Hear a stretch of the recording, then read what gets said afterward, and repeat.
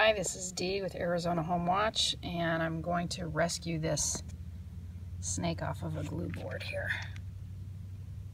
Not sure what kind of snake it is. I'll have to look it up and let you know. See if I can figure it out.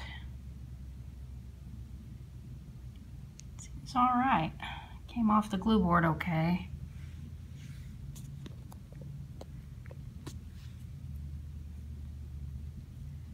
Right there is where he, he had a pretty severe bend. I hope he's, I don't know.